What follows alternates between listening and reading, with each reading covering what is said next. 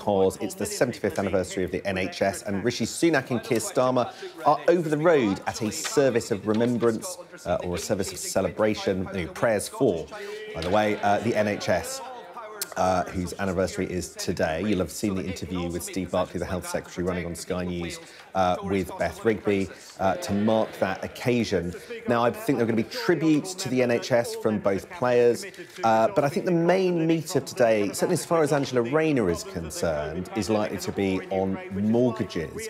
In fact, in the last uh, hour or so, we've had some uh, troubling news about the state of the economy. Britain's the cost of Britain's debt, the cost of government debt, the amount of money that you have to pay to buy government debt, which is a reflection of uh, inflation and and risk, uh, that's gone up to the highest rate since 1999. So, uh, more than 20 years ago was the last time you had to pay uh, the amount to buy government debt at this rate. And I think, and, and that will, uh, we will see that feeding through into interest rate rises, uh, into higher mortgage costs. We've got some five-year fixed rate mortgages now on uh, on over six percent. so people who have mortgage debt when it comes up for renewal under real strain. And that, I think, is what Angela Rayner wants to concentrate after some tributes to the NHS. Mm, That's listening. On the 5th of July, we start together. The new National Health Service. It has not had an altogether trouble-free gestation. There have been understandable anxieties inevitable in so great and novel an undertaking. But the sooner we start, the sooner we can try together to see these things and to secure the improvements we all want. It is fair to say that 75 years later, the NHS still faces challenge, but it is right today that we celebrate an institution which treats over a million people a day. In particular, I'm sure members across the House want to join me in celebrating the staff of the NHS, past, present and across all our constituencies. To them, I say, on behalf, on behalf of the House, thank you for your outstanding contribution to he the health and well-being of us all. And of course, and of course, the National Health Service Act is a reminder of the vital role of this House in creating debating legislation as part of a democratic process. So I say to previous MPs, thank you for what you did. We will not forget. Yeah. Let us now start with Prime Minister's questions. Stephen Metcalfe. Yeah. Uh, number one, Mr Speaker. Ah, Deputy Prime Minister. Thank you, Mr Speaker. Well, Mr Speaker, I have been asked to reply on behalf of my right honourable friend, the Prime Minister, who is actually attending a service right now in Westminster Abbey to celebrate the 75th anniversary of the NHS. And, Mr Speaker, may I associate myself with your comments. The NHS continues to be a treasured national institution. And I'm sure colleagues across the House in this session will join you in celebrating its values, its achievements, and in thanking staff for their huge commitment to patients. Yeah. Mr Speaker, this morning I had meetings with ministerial colleagues and others. In addition to my duties in this House, I shall have further such meetings later today. Yeah. Stephen Metcalfe. Uh, thank you, Mr Speaker. And can I too associate myself with the remarks you made celebrating the 75th anniversary of the NHS and on behalf of my constituents and all our constituents, thank them for the work they do day in and day out. Um, last Friday, Mr Speaker, I met with a group of residents who have raised a petition to keep the last bank in Corringham Town open. The viability of our town centres is often dependent on the presence of a small number of anchor businesses such as a post office or a bank. Can my right honourable friend therefore tell the House what action the government can take to ensure that at least one of these maintains a high street presence to support businesses and residents alike, particularly when these organisations have received significant government support? Yeah. Well, my honourable friend is absolutely right to raise this issue. Banks are a cornerstone of our high streets. Of course, it's ultimately a commercial decision for banks, but I do think it's right that they take into account the views of local communities, and I'm sure the bank in question will have heard the remarks to the House from my honourable friend, and I trust that they will take appropriate action. I now come to the Deputy Leader of the Opposition, Angela Rayner. Thank you, Mr Speaker. And can I associate myself and thank you for your opening comments regarding our NHS and thank all of those staff that have worked and continue to work in our NHS today. And I'm sure members across the whole House will join me in paying tribute to Lord Bob Kerslake. A decent and kind man who accomplished so much in both local and national government during a lifetime of public service. Our heartfelt condolences go to his family. Amen. Mr Speaker, I'm glad to see the right honourable gentleman here today. I think I'm right in saying that I have the pleasure again next week, two weeks on the trot. They really have given up. every day, every day, 4,000 families' mortgages deals expire, 100,000 more since we last met, and millions more next year. Families are sick with worry about the cost of the Tory mortgage bombshell. Do they still claim to be the party of home ownership? Well, may I begin by associating myself with the Right Honourable Lady's remarks about Lord Bob Kerslake. I knew him from my time in Downing Street. He was a stalwart public servant and he will be missed by, by many on both sides of this House. Uh, it may come as a surprise to the Right Honourable Lady, but actually some leaders trust their deputies to stand in for them.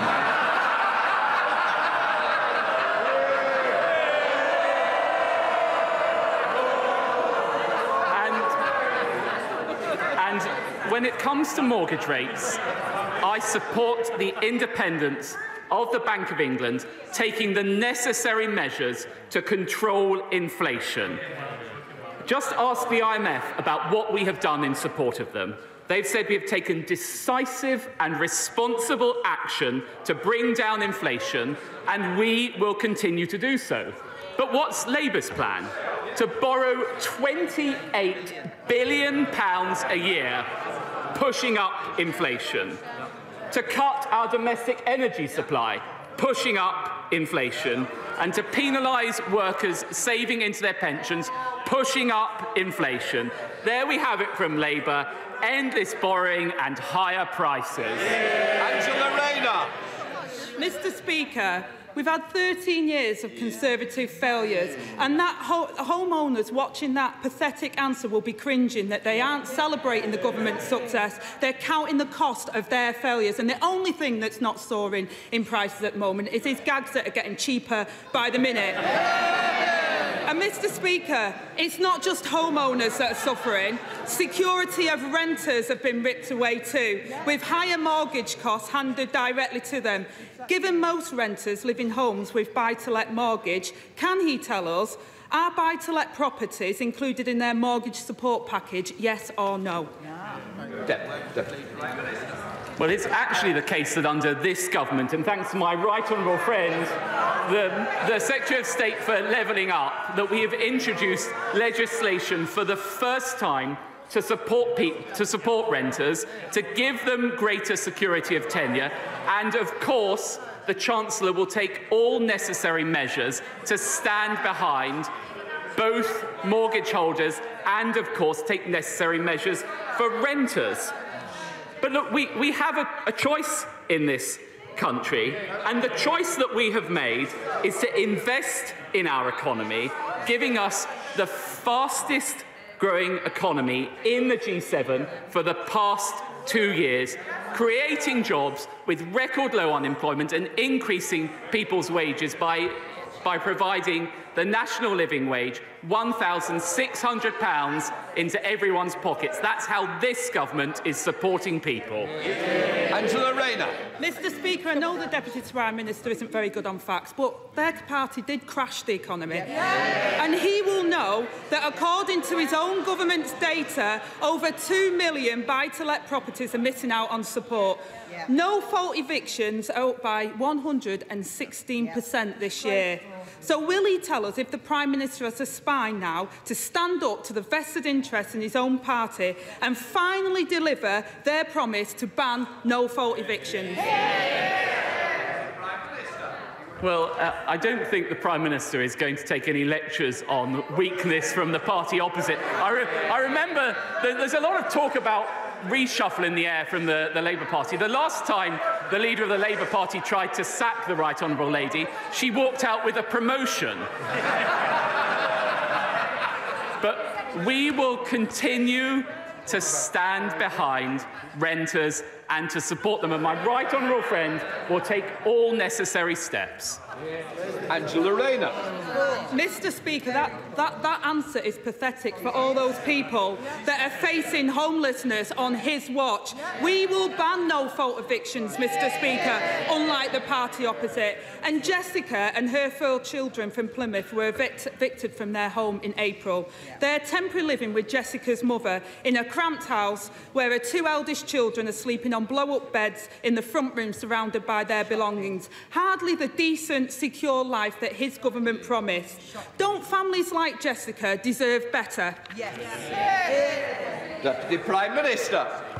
I'll tell you what we're doing for families like Jessica's. We are increasing the national living wage. It was this party that introduced the national living wage, not the party opposite.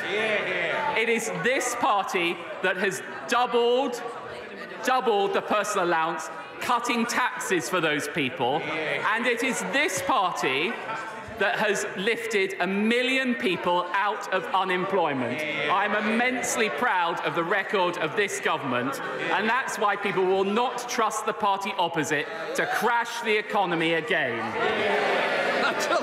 Angela. Mr. Spe Mr. Speaker, I asked a question about no-fault evictions. I was very clear on what the Labour Party would do, but I can't see us getting through a single one of these encounters without the Deputy Prime Minister blaming the opposition for his government's own record asked yesterday about the record low number of council houses being built. The housing minister says she didn't recognise that statistic. When asked about support for people in temporary accommodation, she said it wasn't her brief, the brief of the housing minister. So if council housing isn't her responsibility, whose is it? Well, the, the, party opposite may have failed to notice is actually under this government that more council houses were built than when they were in office. It's actually under this party that we have record levels of housing being built.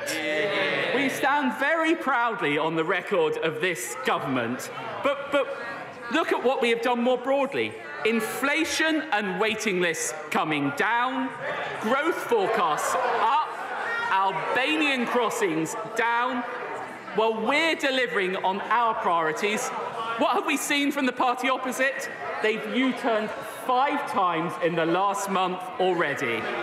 The record is clear. The only thing you can rely on the party opposite to deliver is broken promises.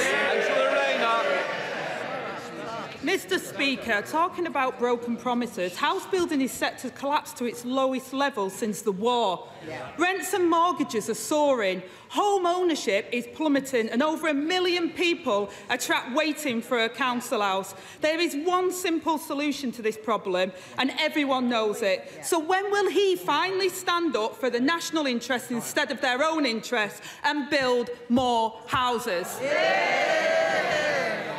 Prime Minister. I say to the Right Honourable Lady, she may, she may not have listened to the answer I gave and just moved straight on to the next pre-scripted question. We have, got, we have built more houses under this government than the party opposite. And I'm afraid it's the same old thing from her. She stacks up the endless job titles, she takes the union cash, and she constantly talks Britain down. That's why we will do everything we can to keep Labour out of people's pockets, out of their lives, and out of government. Thank you, Mr Deputy Speaker. I might respectfully say to the Deputy Leader of the Labour Party, if she wants to know what we're doing on rental reform, she can look at the rental reform bill that this government is introducing. But, but on a sec... Is that your question? Speaker. Well, I think my, you ought to ask your question. My question, Mr. Speaker, is about the Slapton line in my constituency. Can it be right that Natural England is holding back major infrastructure development in South Devon and not allowing us to keep key infrastructure being developed? What? Well, my, my honourable friend is absolutely right to speak up for the Slapton line. It's one of the most beautiful roads in the country. I, I understand that the Slapton line partnership, which includes Natural England and the Environment Agency, are working closely with the local community on their plans. We now come to the Deputy Leader of the SNP, Mhairi Black. Thank you, Mr Speaker. I would also like to begin by thanking all of the staff in our health services across these Isles. And as we celebrate the 75th anniversary of the health services in the UK, I want to reflect on two quotes from two people. The first one is, it's something, it's about using the private sector more, something we should be very comfortable with. The second quote is, people go as NHS patients to the private sector and we could do more of it. Can I ask the Deputy Prime Minister which quote is from the PM and which is from the Leader of the Opposition? well, uh, Mr Speaker, may I actually just begin by saying genuinely how sorry I was to hear that the Honourable Lady will be standing down at the next election. She and I joined this House at the same time, and I know she has contributed much to her party and to this place. And may I also say, I'm sure she will wish to join me in celebrating His Majesty King Charles, receiving the Scottish regalia, I think pretty much as we speak.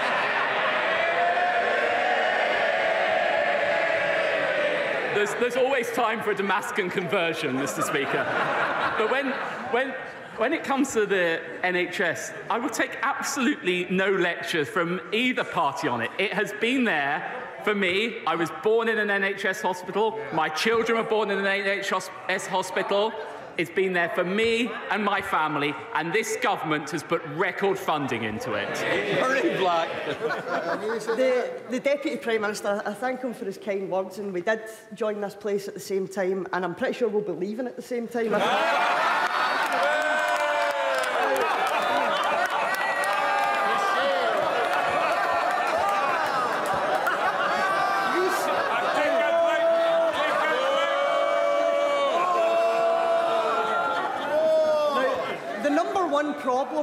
Faces the health service across these isles is workforce.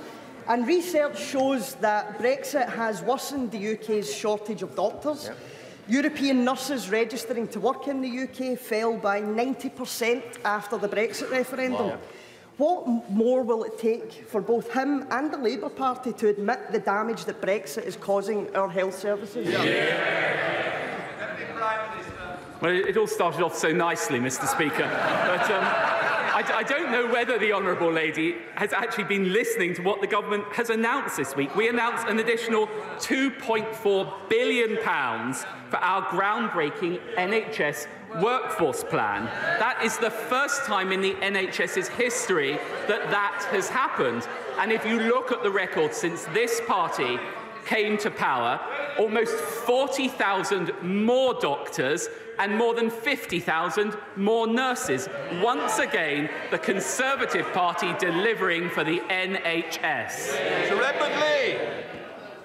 Uh, tonight, at West Lindsey's uh, planning meeting, the RAF will apply for listed building consent to move the grave of Wing Commander Guy Gibson's dog.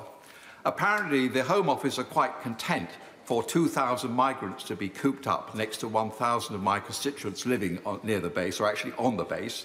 But the RAF think it's intolerable that they should leave the grave of a dog who's lain in peace for 80 years. More importantly, will the Home Office start listening to us? If they insist on this proposal, will they put the illegal migrants at a discreet part of the base and let us get up, get on with 300 million pounds worth of levelling up 100 buildings, many of them listed, a two mile long runway, a spaceport, and let the dog lie in peace. Well, I think my, my honourable friend knows that we do have to take action to address the unacceptable cost of housing migrants in hotels. And I, I actually thank him for his constructive approach that he's taken to RAF Scampton playing a role in respect of that. Of course, Home Office ministers will have heard his broader representations, and I'm sure they will respond to him. Sir Jeffrey Donaldson. Thank you, Mr uh, Speaker. May I, on behalf of my colleagues, extend our deep appreciation to all those past and present who continue to be dedicated to our NHS, including our staff in the health and social care system in Northern Ireland. Mr Speaker, in Northern Ireland, GPs, nurses, doctors and carers are adversely constrained by a lack of sufficient funding for our health service. The Northern Ireland Fiscal Council have highlighted that our allocation falls beneath need, which compounds the difficulty year on year. Can the Deputy Prime Minister assure me of the willingness of the government to engage on this issue and to ensure that public services get what they need to continue delivering for the people of Northern Ireland? Yeah, yeah. Uh, yes, I'm very happy to give the right honourable gentleman that assurance. As he knows, it is actually the case that uh, the Department of Health in Northern Ireland has been allocated 7.3 billion pounds, an increase of 20 million above 22-23. But of course it is the case that the, Northern, the absence of a Northern Ireland executive is exacerbating the severe challenges that the healthcare service in Northern Ireland is already facing. And a fully functioning devolved government is the right way to deliver the necessary reforms needed for the Northern Ireland Health Service. Thank you, Thank you Mr Speaker. Of the 16,700 cases of melanoma diagnosed in the UK every year, sadly over 2,000 will prove fatal. Regularly applying sunscreen is our most effective weapon against this deadly disease, yet the Treasury remains stubbornly opposed to exempting VAT on these life-saving products. Mm. As a melanoma survivor, and with a further heat wave expected later this month, will my right honourable friend do everything in his power to remove VAT on high-factor sunscreen to save lives and to support the NHS as they celebrate their 75th anniversary? Well, my, my honourable friend is absolutely right to raise the dangers of melanoma as a, as a fair-headed person with a fair-headed uh, family where I'm acutely conscious of the need to wear sun cream. Uh, I won't trespass onto Treasury decisions in this setting, but I know my right honourable friend, the Chancellor, will have heard her representations. Le Crawley.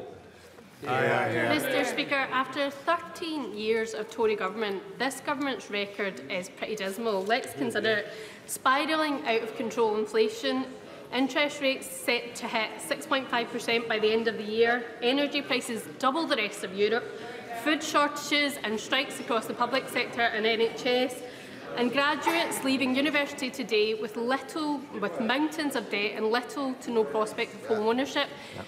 Let me ask the Deputy Prime Minister, will he admit his Tory government's failure and urge the Prime Minister to call a general election now? Deputy Prime Minister. Well, rather than focusing on playing politics, we're actually delivering for the British people. I, I was, I listened to the Honourable Lady's litany. Uh, I was interested to note that her leader has been in power for 100 days. And what's their record been? Three failing First Ministers, two unfinished ferries, and a failed deposit return scheme. I think we can all agree the people of Scotland deserve better.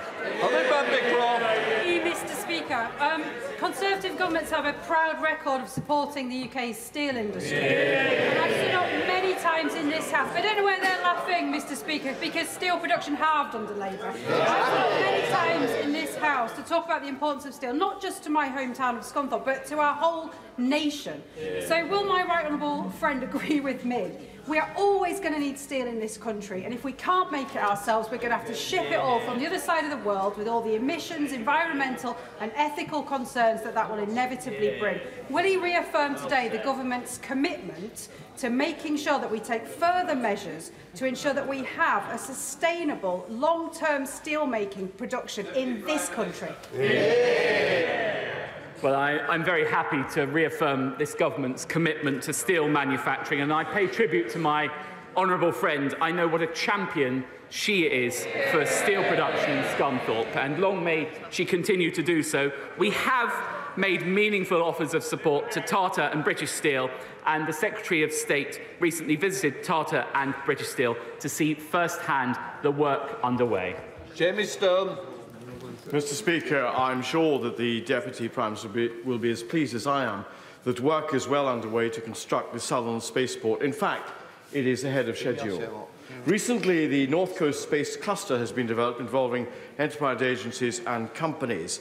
Does the Prime Minister, Deputy Prime Minister agree with me that this can build massively on the uh, skills that have been built up for over many years at Dounreay? And secondly, that the establishment of links, international links, with uh, possible companies in the United States can only be good news for the far north of Scotland? Yes, I, completely agree with the honourable gentleman's uh, remarks. The development of this new spaceport is a key part of our ambition to grow the UK's space launch capabilities. And it is the fact that the first three years are expected to reach £20 million of investment, creating 40 jobs. And we are working with the United States, particularly through the Technology Safeguards Agreement, to allow UK companies to exchange technology uh, with the United States. Aaron Bell. Thank you, Mr Speaker. Could I associate myself with your comments about the NHS and pay tribute to all NHS workers, both in Newcastle under Lyme and across the country? And on that note, could I welcome the new long-term workforce plan, and in particular the extra 40% places for dental schools? Yeah. Uh, access to dentistry has been an issue for a number of my constituents. And would my right honourable friend consider the merits of actually opening new dental schools, not just new dental places?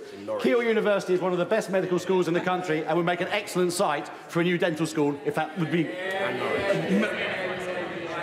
Well, as ever, my honourable friend makes a very strong case for his constituency. Uh, as a result of the NHS long-term workforce plan, uh, we are currently assessing capacity at existing dental schools to see whether they can accommodate the expansion in training places. But of course, we retain an open mind as to whether we need further such uh, education facilities. Kim Labica. Thank you, Mr Speaker. It was a pleasure to join colleagues from across the House this morning for the NHS 75th anniversary park run on this special day.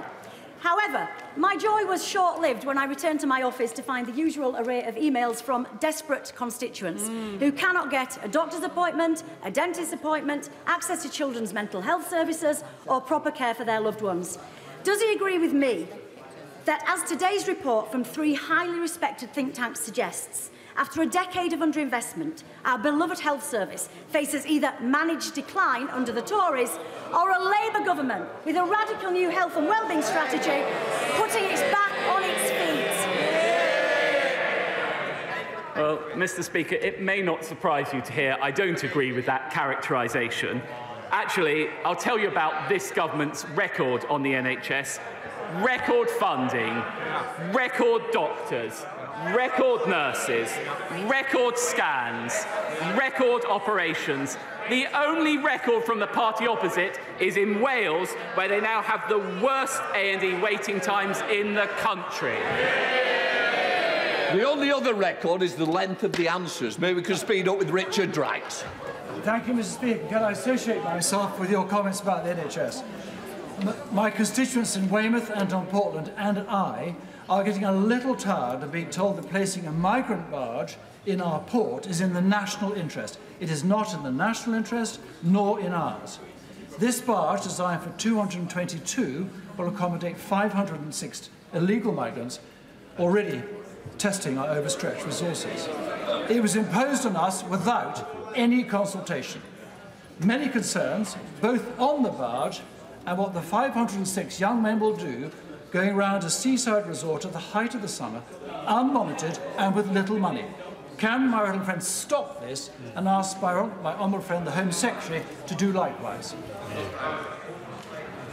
Well, I'm, I'm sure my honourable friend appreciates that we need to reduce the bill of housing asylum seekers in hotels, and we need to look at different measures to accommodate them. Of course, I am very happy to engage uh, with the honourable gentleman, I'm sure the Home Secretary will do as well, to ensure that we can find a satisfactory solution in his constituency that protects his constituents' interests. Carolyn Harris. Thank you. Thank you, Mr Speaker.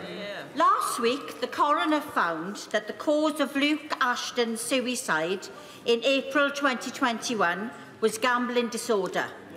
Immediately before his death, Luke, bombarded with inducements, placed over 1,200 vets. At no point did the operator intervene. From his previous brief, the, pre the Deputy Prime Minister will have extensive knowledge of the harm these inducements cause. So does he agree that the commitments to curb advertising and promotions in the Gambling White Paper do not go far enough to reduce harm and prevent more tragedies like Luke Ashton's suicide? Yeah. Yeah. Well, the uh, Honourable Lady will know from our conversations when I was Digital Secretary that I share her concerns about gambling inducements, and indeed I pay tribute to her for her campaigning on this issue.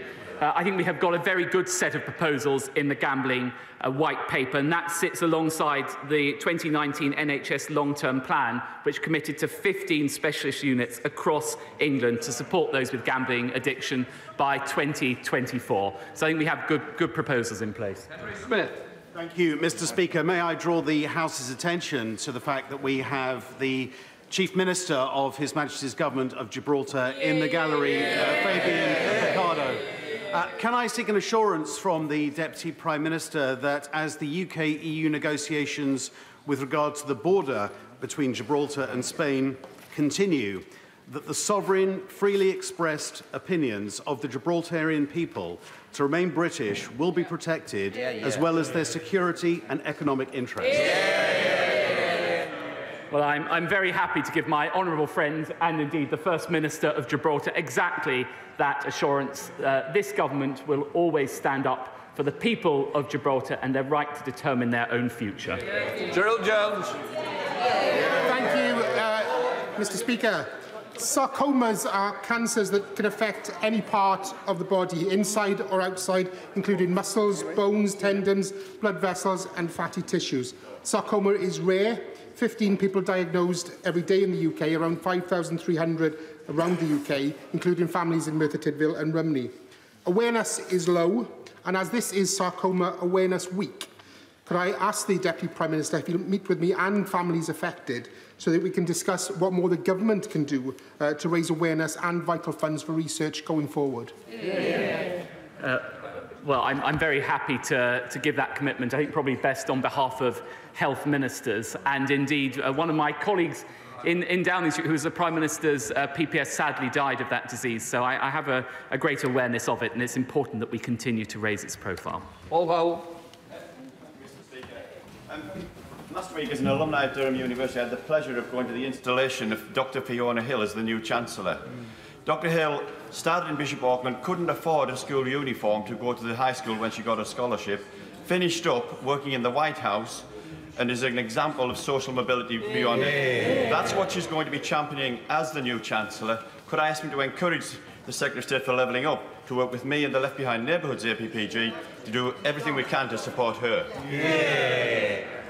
Well, I, I join my honourable friend in relaying the government's congratulations to her, and I will ensure that the Secretary of State hears the representations that he made. Tim Doherty.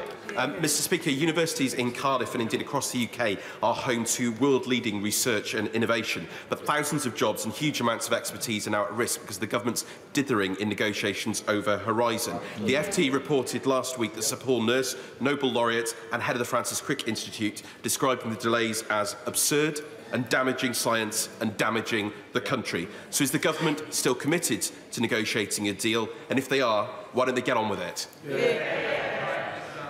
Well, since we agreed the Windsor framework, we've had very constructive discussions on Horizon, but the difference between my party and his is that we won't accept a deal at any price. We will wait until we get the best deal for the British people and British universities. Karen Bradley. Very much, Mr Speaker.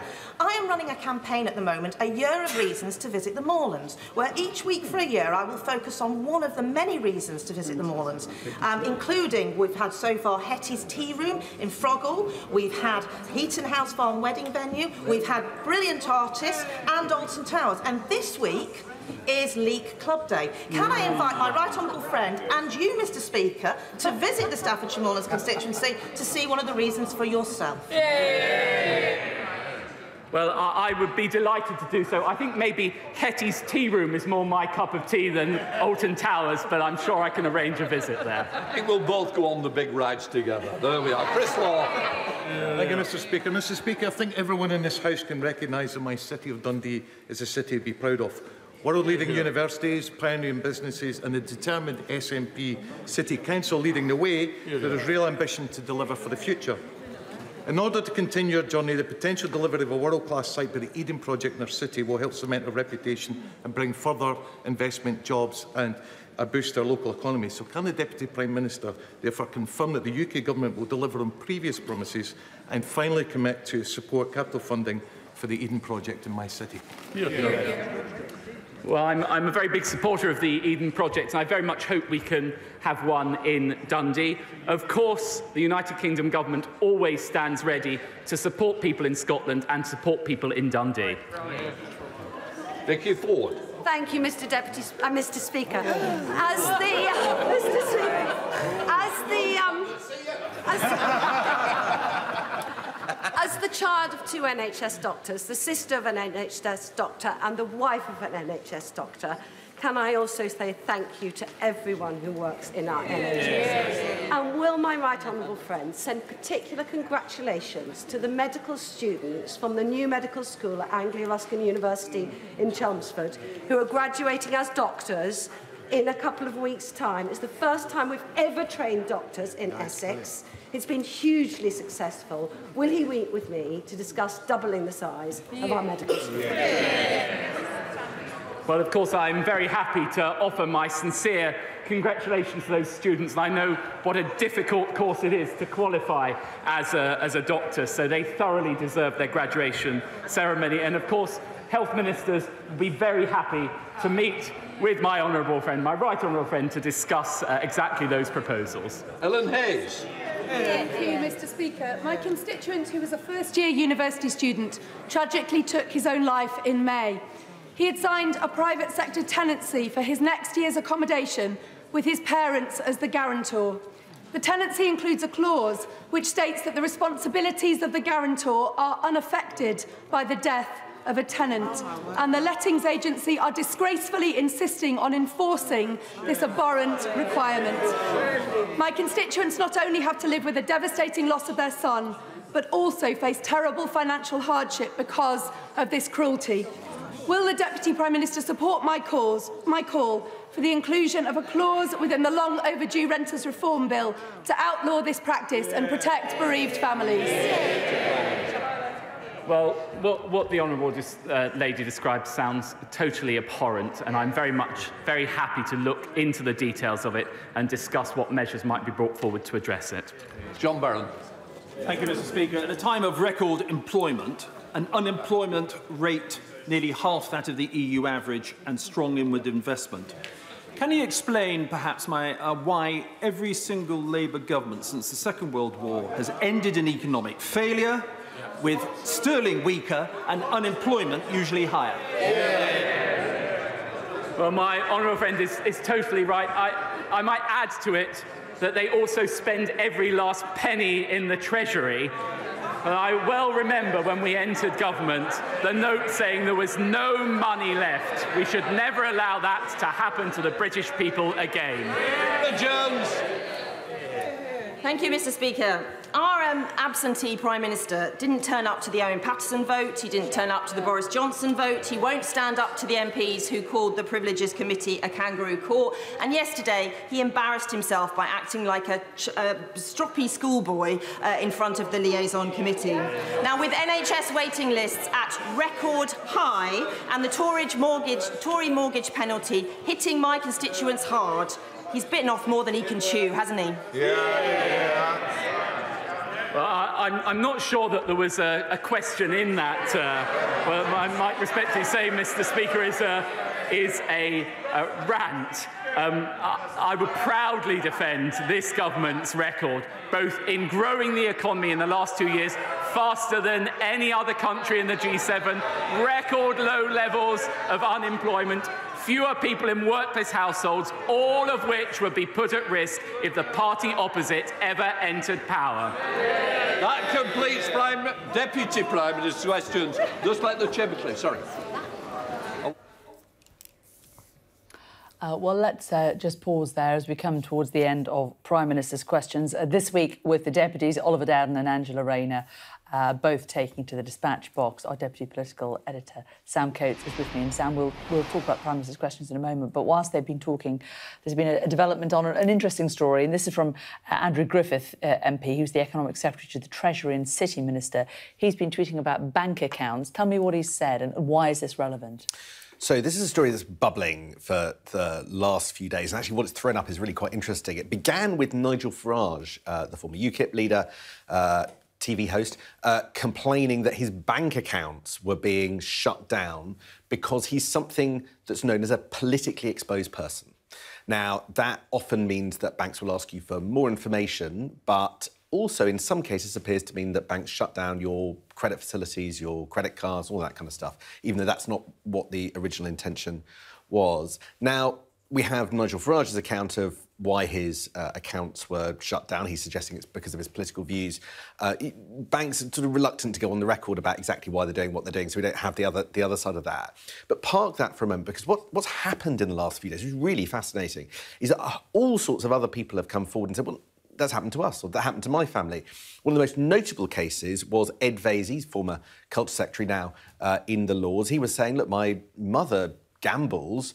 As a result of her being asked for her casino winnings, they started to threaten all my bank accounts and said that I, all my I had a credit card um, that was cancelled, and, and, my account started to be warned that they could be shut down too because having uh, any kind of affinity with gambling made you a politically exposed uh, uh, person. So that's the background the government have taken quite strong note of all of this. There was some briefing over the weekend uh, uh, by the Treasury about their concern about this, and it's resulted in a letter now um, from the uh, Treasury Minister Andrew Griffith uh, to uh, Nikhil Rathi, who is the managing director of the Financial Conduct Authority. And, and in essence, this says uh, we have recently passed legislation uh, calling for a review into uh, the guidance of what's known as politically exposed persons, the uh, kind of status that's causing all these problems. And they're saying, look, we want you to look at this, we want to look at it seriously. Um, we're looking for easy wins, in the words of Andrew Griffith, uh, along the way uh, that we could implement so that we can implement changes expeditiously, i.e., quickly. so, in essence, the government have hopped on the back of this issue after hearing you know, there's a, effectively a cross-party campaign. This isn't about Nigel Farage. It's about the problems that many, many people are having uh, coming forward, and, and they felt basically powerless and voiceless, and, and without any recourse to appeal. Now the government are noting their concerns, are trying to take action, and for some of those who feel aggrieved, hopefully there will be some changes in the not too distant future.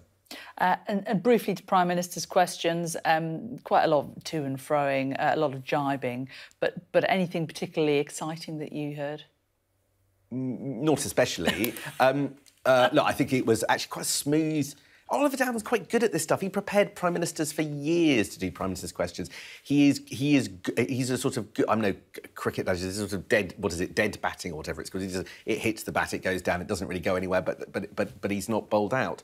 Um, and that time and again, Angela Rayner entertaining. She went on mortgages as we predicted, mm. uh, uh, and there were tributes to the NHS. I, I suppose what I'd say about it. it. you know, it was, a, it was a sort of score draw. The, you know, the world didn't move in that Prime Minister's questions, but it really reinforced the fact that when the Prime Minister's not there, and therefore the Leader of the Opposition automatically isn't there, it's just lower stakes. Mm. It's lower stakes, that the, the answers matter less. There were interesting questions from some of the some some of the MPs, but but but but having the prime minister there matters. And um, Rishi Sunak isn't there because there is a this rather weird, you know, service in remembrance of the NHS uh, over the road today. He's not there next week completely legitimately because of NATO. He's actually the, the prime minister in the last kind of 40 years who hasn't been there uh, uh, the, the most. There are perfectly good reasons why this happens, although you do wonder whether or not they can shuffle around some of the diary commitments well, to, yeah, be, to be these, he's, he's missed 19% of Prime Minister's questions, and the previous record was 12% around the time of, of, of John Major. And, and, and you Brown. saw him being quite defensive about this yesterday in front of the liaison committee. Next week he's at the NATO summit. He was in an argument with Chris Bryant about whether or not he shouldn't uh, should cancel NATO to be at PMQs and how that wouldn't be the right idea. You, you know, when when prime ministers want to do something, often diary managers find a way to make sure that they do. I, I think it's not quite as binary as perhaps the rhetoric has thrown up. I'm expecting Downing Street to give us a list of uh, a reminder of all the reasons why Rishi Sunak couldn't come to all of those many, uh, several prime minister questions. Uh, and of course, statistics aren't always helpful. Um, the person who comes out best in that list, Jane, is Liz Truss, but that's only because she did three prime minister's questions. OK, not necessarily a brilliant record to be emulating. Uh, thanks very much. Right, let's take you across to SJ. We are, of course, today across all of Sky News, marking the 75th anniversary of the NHS. Uh, SJ is in hospital at West Middlesex. Yes, I am indeed, Jane. Thank you very much. The NHS turns 75 today. But on what is an historic day, three leading health channels